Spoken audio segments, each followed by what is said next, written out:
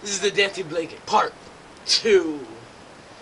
Today I'm gonna be fist pumping because I'm Italian like that. That's I'm cool like that. Alright, so we're gonna get it started up in here.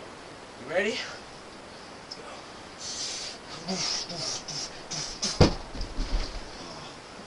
Oh! Oh! Oh, oh my head!